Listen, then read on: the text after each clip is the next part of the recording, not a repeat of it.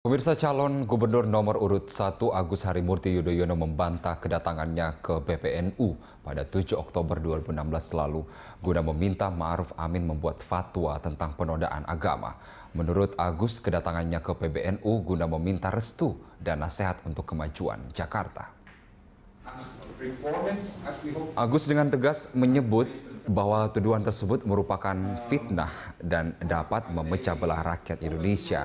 Selain bersilaturahmi, ia mengaku kedatangannya untuk meminta doa restu serta nasihat Kiai Haji Ma'ruf Amin agar dirinya diberi keringanan langka dalam perjuangannya mencapai posisi gubernur Jakarta.